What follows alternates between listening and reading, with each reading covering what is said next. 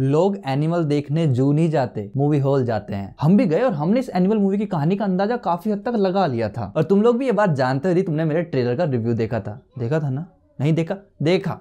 Subscribe कर लेते तो भाई मैं अपडेट रखता हूँ तुम लोगों को। लेकिन इसका मतलब ये नहीं कि मुझे कहानी का अंदाज़ा ऊपर ऊपर से लग गया था तो मुझे मूवी की कहानी में बिल्कुल मज़ा नहीं आया। इंडिया की सबसे अमीर फैमिली जिसके अंदर बाप काम के पीछे पागल है और बेटा बाप के पीछे। बाप बचपन से बेटे को वक्त नहीं दे पा रहा है और बेटा बाप की अटेंशन और रिकॉग्निशन पाने के लिए मरा जा रहा है। लेकिन बेटा आदमी कम और साइको ज़्यादा लगता है। और इसी वजह से बाप को इसका कोई भी तरीका पसंद नहीं आता है। इसलिए बाप बचपन से ही बेटे को डिसिप्लिन सिखाने के चक्कर में रूढ़ रहता है। अब बेटे की प्यार की भूख और बाप की चिंता बढ़ते चली जाती है। साला दोनों को जो चाहिए वो उन्हें मिल ही नहीं रहा है। और इसी बीच में हो जाता है एक बहुत ही बड़ा पंगा। बाप पे चल जाती है गोलियाँ। वो भी कोई बहुत पुरानी और बड़ी रंजिश के चलते। अब बेटे का पापा को लेकर जो जुनून है वो उसके अंदर के ऐसे जानवर को पैदा करता है कि अपने दुश्मन को नस्त नाबूद करने के चक्कर में वो खुद के प्यार, खानदान और खुद को लगभग खत्म कर देता है। अब देखना यह है कि बाप का दुश्मन कौन है और क्यों है? उन दोनों बाप बेटे के बीच में दूरियाँ पहले खत्म होंगी कि उन दोनों का रिश्ता। और यही बढ़िया कहानी का बढ़िया ड्रामा हमें तीन घंटे बीस मिनट के आसपास के टाइम में देखने को मिलता है सिनेमा हॉल में एनिमल मूवी के अंदर। माँ माशुका और दौलत के लिए बहुत सारी कहानियाँ देखने को मिलती है, लेकिन बाप बेटे के लिए कहानियाँ जल्दी से देखने को नहीं मिलती है। अब देखो पूरी पूरी मूवी की कहानी में बहुत कुछ नया नहीं है, लेकिन इसके जो कैरेक्टर है, उनकी इंटेंसिटी देखने लायक है। और एक और चीज़ भी है जो देखने लायक नहीं है। मतलब हर किसी के लिए तो बस की भी नहीं है। इसका खून खराबा और इसका ब्रूटल सेक्स पहले सच में जानवर की तरह करते हैं भाई।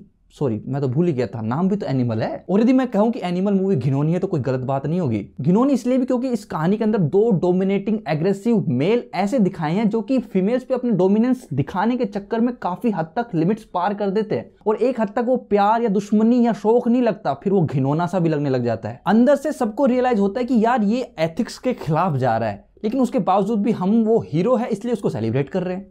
तो ये आपको अंदर से भी घिनोने वाली फीलिंग देता है। तो कुछ सीन्स ऐसे जो एथिक्स वाइज घिनौने हैं, लेकिन कुछ सीन्स भाई वैसे भी घिनौने हैं। मतलब मेरे बगल में बैठी दो मोहतरमाएँ वो गले से कटने वाला एक सीन आता है, वो देख ही नहीं पाई आँखें ढक ली उन्होंने। यस एनिमल मूवी घिनौनी है एक नई कई तरीकों से। मूवी के अंदर एक्टिंग एंटरटेनमेंट मसाला ड्रामा सब कुछ देखने को मिलता है, लेकिन उसके बावजूद इस मूवी के अंदर कमियाँ कमियाँ नहीं, मैं तो कहूँगा कि मुझे शिकायत है भाई। पहली शिकायत तो है कि पूरी एनिमल मूवी के अंदर बॉबी देवल के सिर्फ़ दो दिन की कहानी है। दो दिन के सीन्स है लिटरली कितने सीन होंगे। दूसरा मूवी तीन घंटे बीस मिनट की ड्यूरेशन की, जो कि लंबी मूवी और काफ़ी टाइम बाद ऐसी लंबी मूवी आई तो मुझे देख के अच्छा लगा कि हाँ लंबी मूवीज़ भी सिनेमा हॉल में जा रही है, लोग देख रहे हैं, मैं खुश था।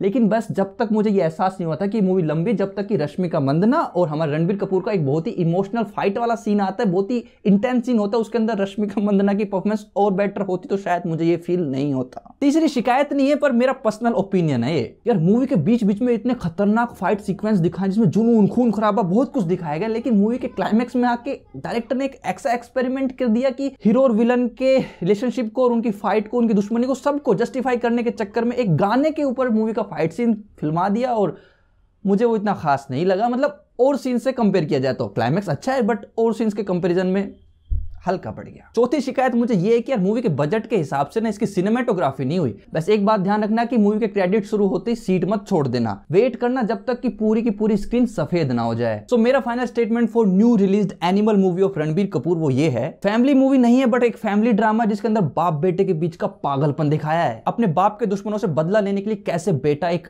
जानवर बन जाता है एक एनिमल बन जाता है वो देखने को मिलता है। फैमिली के साथ गलती से मत चले जाना बहुत घिनौने घिनौने सीन्स हैं। और मैं तो कहूँगा कि गर्लफ्रेंड के साथ भी मत चले जाना भाई, उसको पसंद नहीं आएगी मूवी बाकी रिस्क लेना है तो खूब जाओ। कहानी में सब कुछ नया नहीं मिलेगा, लेकिन जो दिखाया वो शानदार दिखाया है। तो मेरे हिसाब से इस मूवी को सिनेमा हॉल में देखना पूरे तरीके से पैसा वसूल है। और यदि आप रणबीर कपूर के फ़ैन हो, बहुत ही किस्मत से तो भाई साहब, आपके लिए जन्नत है। तो यदि मैं अपने एक्सपीरियंस को रेटिंग्स में बयां करना चाहूँ तो मैं रेटिंग्स दूँगा फोर आउट ऑफ़ 5